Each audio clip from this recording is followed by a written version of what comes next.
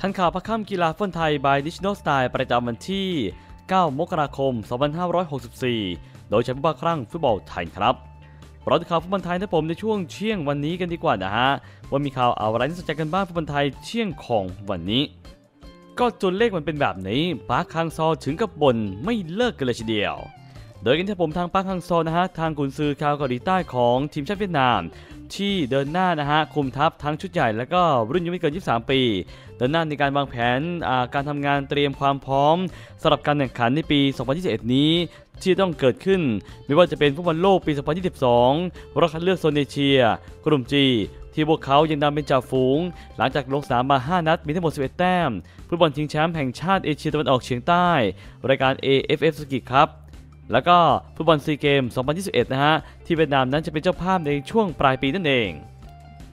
โดยก่อนหน้านี้ทางด้านของทางปาร์คฮังซอคุณซื้อชาวเกาหลีใต้ออกมาบ่นมาว่าทีมชาติเวียดนามยุคนี้มีปัญหาเรื่องของกองหน้าที่อายุน้อยที่เกิดขึ้นมาใหม่ เพื่อเป็นตัวเลือกรวมไปถึงการก้าวขึ้นมาทดแทนบรรดานักเตะรุ่นพี่ ปัญหาหลักๆก็คือ ในลีกส่วนใหญ่ใช้กองหน้าต่างชาติทั้งหมดเลย ล่าสุดทางกุนซือสมขาวรายนี้ยังบ่นไม่เลิกนะฮะ ก่อนที่ลีกจะเปิดตัวขึ้นเนื่องจากในลิสต์รายชื่อต่างชาติที่ลงจะเล่นในวีลีกหนึ่งนั้นจำนวนทั้งหมด 47 รายของ 14 ทีม ทั้งหมด 70%เป็นผู้เล่นต่างชาติหมดเลย ตำแหน่งกองหน้าทำให้โอกาสของผู้เล่นเวียดนามดูจะขาดโอกาสในการพัฒนาตนเอง ซึ่งทางปักคังซอออกมาบ่นเล็กน้อยมาว่าสถานการณ์ที่ยากลำบากในตอนนี้ จะหากองหน้ารายใหม่เข้ามาเสริมทัพ คงจะไม่ใช่งานที่ง่ายซะแล้ว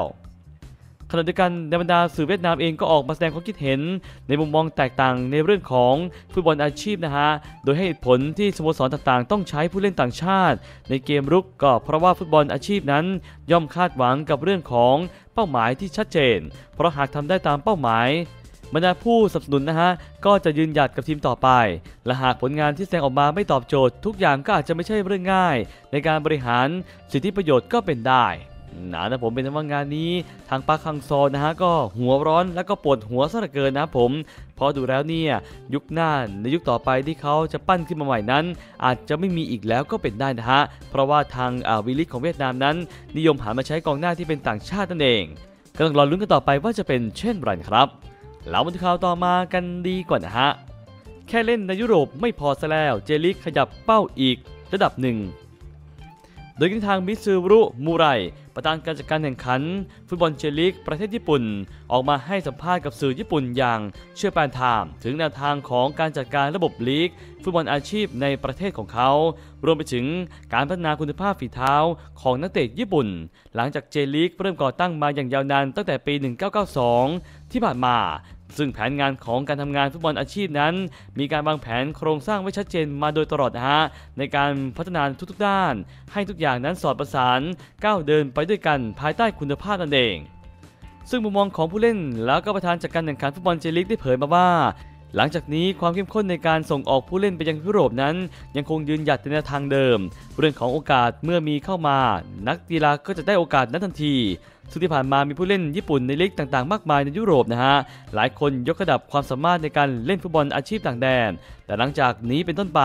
นอกจากการส่งออกผู้เล่นแล้วนะฮะ นักเตะญี่ปุ่นที่กำลังจะเข้าสู่เจเนเรชันใหม่ ที่อายุน้อยกำลังเติบโตอย่างต่อเนื่อง บนเส้นทางฟุตบอลอาชีพ จำเป็นต้องพยายามดิ้นรนด้วยฝีเท้าความสามารถสู่ทีม ที่มีเกมการแข่งขันในทั่วยุโรปนะฮะ เพื่อเป็นการสร้างนักเตะให้เก่งกาจโดยตรงจากประสบการณ์การแข่งขันนั่นเอง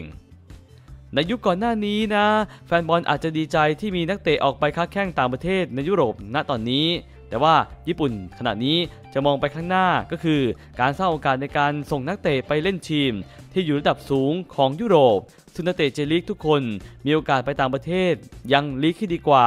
ทางเราก็พร้อมผลักดันและก็ส่งเสริม เพราะต้องคำนึงถึงว่าการเล่นในประเทศที่มีมาตรฐานที่เป็นอยู่ หากต้องการเติมคุณภาพผู้เล่นก็จำเป็นจะต้องก้าวออกไปหาความท้าทายใหม่ๆ จึงอยู่ที่จำนวนผู้เล่นยุโรปของญี่ปุ่นนั้น มีจำนวนมากมาย แต่สิ่งที่ต้องเดินหน้าปฏิบัติอย่างจริงจังนะฮะ หลังจากนี้ก็คือการได้โอกาสกับทางสโมสรที่อยู่ระดับสูงขึ้นไป หากสังเกตจริงๆนะ ค่าเฉลี่ยรวมจำนวนผู้เล่น เรานั้นยังห่างจากระดับสูงในเวทีที่ใหญ่ขึ้น จึงจะเป็นจะต้องทำงานอย่างจริงจังกันต่อไปซึ่งแน่นอนว่าที่ผ่านมาแฟนบอลอาจจะกังวลในเรื่องของผู้เล่นพรสวรรค์ที่ออกไปค้าแข่งในทวีปยุโรป ซึ่งในลีกในประเทศจะไม่มีตัวแทนพวกเขา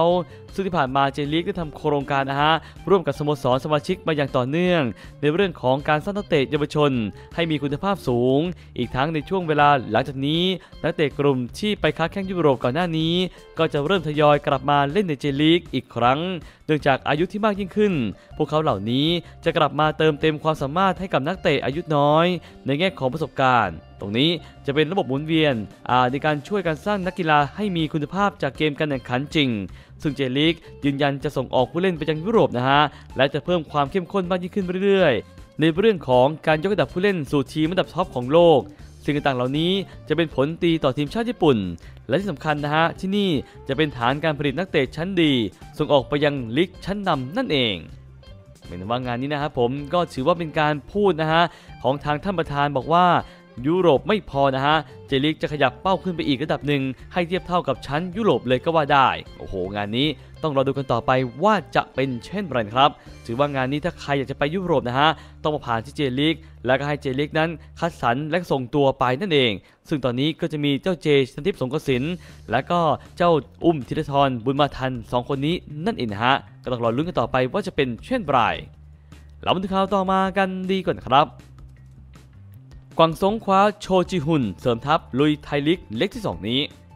โดยดังนี้ถ้าผมกวางซงมหาภัยนะผมสิงห์เชียวไรเต็ดบรรลุข้อตกลงในการคว้าตัวโชจิฮุนมิฟิลวัย 30 ปี อดีตนักเตะทีมชาติเกาหลีใต้ ของทีมกังมอน FC มาร่วมทัพอย่างเป็นทางการแล้ว โดยจะสวมเสื้อหมายเลข 8 ทดแทนตำแหน่งโคต้าเอเชียของลียองแรที่ย้ายกลับไปเล่นในกับทีมบ้านเกิดนั่นเอง โดยโทจีฮุนนะผมได้เผยมาว่า ผมเนี่ยติดตามฟุตบอลไทยอยู่พอสมควรนะลีกฟุตบอลไทย รวมถึงทีมชาติไทย มีพัฒนาการในทางที่ดีมากนะฮะ ไทยลีกมีความแข็งแกร่งมากมีทั้งผู้เล่นไทยและก็ผู้เล่นต่างชาติ มันนับเป็นเรื่องที่ยอดเยี่ยมมากเลยนะ ที่ผมได้ย้ายมาเล่นให้กับทางสิงห์เชียงราย ทีมอันดับแชมป์ของไทยลีก ยิ่งได้เห็นเชียงรายยูเต็ดนั้น โชว์ผลงานในศึก ACL ที่ผ่านมา ผมเนี่ยประทับใจมาก และผมรอแทบไม่ไหวแล้ว ผมอยากจะลงสนามในสีเสื้อของทีมสิงห์เชียงราย ให้โดยเร็วที่สุดสำหรับทางโชจีฮุนมิดฟิลด์วัย30ปีรายนี้ มาพร้อมส่วนสูง 190เซนติเมตรมีประสบการณ์โชกโชนในประเทศเกาหลีใต้ ผ่านการเล่นในศึกเคลีกมามากกว่า 100 นัด ให้กับทางซูวอนซัมซุงบรูวิง ซังจู ซังมู และก็ล่าสุดก็ต้องสังกัดเดิมนะฮะ กังวอน FC และก็เคยมีประสบการณ์ผ่านการเล่นถ้วยเอเชีย หรือว่า AFC แชมเปี้ยนลีกกับทางซูวอนซัมซุงบรูวิง พร้อมพ่วงดีกรีทีมชาติชุดเยาวชนของเกาหลีใต้ โดยเคยเล่นกับทางชุด U19 ปี และก็ U20 ปี และก็ชุดโอลิมปิกเกมนั่นเองครับ เป็นในว่างานนี้พ่อหนุ่มคนนี้ปากหวานซะเหลือเกิน ต้องเราดูกันต่อไปว่าความสามารถของเขาจะสามารถเข้ากับทางกวางซงได้ไหม ต้องหล่อนลุ้นกัน เรามาดูข่าวต่อมากันดีกว่าครับ อุชัยชนีเปิดตัวไดกิโคนโนมุระเสริมแนวรุก โดยงานนี้ผมทางลูกพระชนกจักรีอุทัยธานี FC ไปดิวโคต้าต่างชาติรายสุดท้าย ด้วยการคว้าตัวไดกิโคโนมุระศูนย์หน้าดาวยิงชาวญี่ปุ่น เข้ามาร่วมทีม ก่อนตลาดซื้อขายนักเตะปิดตัวลงไปสำหรับการเตรียมทีมสู้ศึกไทยลีก 2 ช่วงเล็กที่ 2 นี้ โดยวราพรบีออนดีนะผมผู้จัดการทีมอุทัยธานี FC เผยถึงภาพรวมตลาดซื้อขายในเลขที่ 2 ของทีมมาว่า อย่างที่เราทราบกันดีนะว่าในเลขที่ 2 เนี่ยสโมสรมีการเปลี่ยนแปลงเกิดขึ้นภายในทีม เยอะพอสมควร ตั้งแต่หัวหน้าผู้ฝึกสอนไปจนถึงตัวนักเตะเอง ในส่วนของการเลือกตัวนักเตะนะฮะแน่นอนว่าเราต้องให้สิทธิ์โค้ชในการตัดสินใจในการเลือกตัวผู้เล่น ที่เขาคิดว่าเหมาะสมกับสไตล์การทำทีมของเขามากที่สุดเลย